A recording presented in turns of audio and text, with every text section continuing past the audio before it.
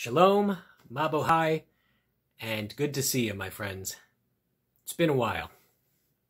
I wish I could say that I was up to something big these last couple months, but uh, truth be told, I haven't been. I've just been busy with the routine of life, which can really get the best of us sometimes. I did, however, purchase one of those fancy circular lights. I'm using it right now for the first time. Kind of gives a little halo effect. Um, don't know if the light is very flattering, but hey, you need one of those in order to do YouTube videos now, right? Gotta keep up with the Joneses. One thing that did happen to me that I want to talk about a few months ago was I was attacked online. It was the strangest thing. This woman decided to make fun of the number of likes that my posts were getting. Very small number of likes, very small number of views. And then she decided to call me snarky. And the odd thing is, this happened not on Facebook, not on Instagram, not on TikTok, but on LinkedIn, a site that is allegedly for professionals. Well, I tried to tell her that her remarks hurt me. She didn't really seem to want to change her behavior.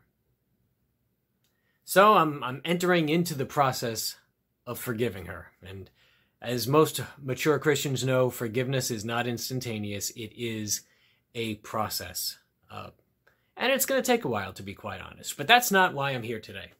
Today I'm here to talk to you about Psalm 136. I, I had to come up with something. I, it's been so long since I posted a video, and I really wanted uh, to, to connect with you all again. I read Psalm 136 this morning, and I'm not going to read it to you. You all can read it for yourselves. But one of the things that struck me was it was like a call and response that you occasionally, you usually see in churches. The pastor says one thing and the congregation responds with something else. Every other line in Psalm 136 was the same. His steadfast love endures forever.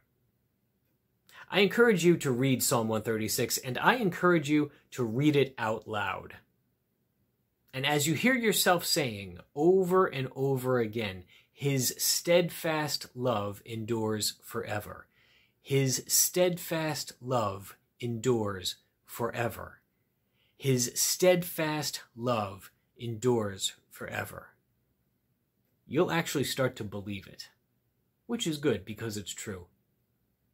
Now, even though we know it's true intellectually, we know it in our mind, as Joyce Meyer says, it's those last 18 inches, getting it from our brains to our hearts, where we know that we know that we know that God's steadfast love endures forever, and we actually begin to live out our lives like we believe that.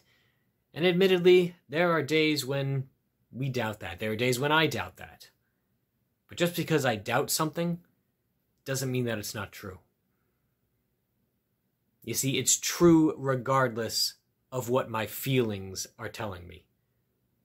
Feelings are not facts. It's an overused slogan, yes, but it's true. And unfortunately, over the last several years, we have given increased importance, almost unquestionable sovereignty to our feelings.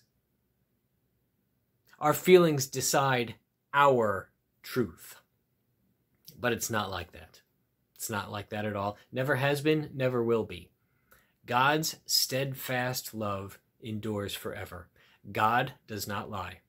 And as Christians, we believe that the Bible is the inerrant word of God. So if God says that his steadfast love for us endures forever, well, then that's the way it is, folks.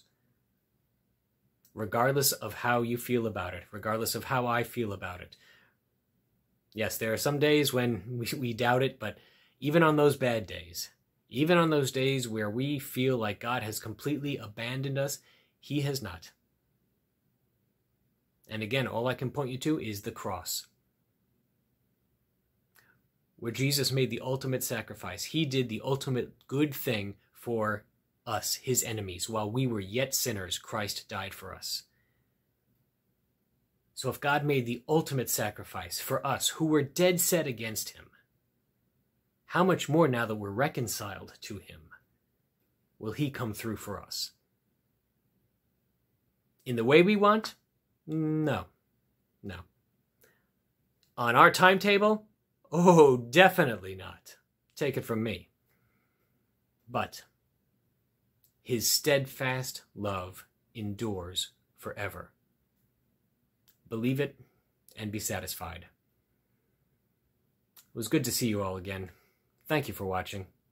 God bless you all.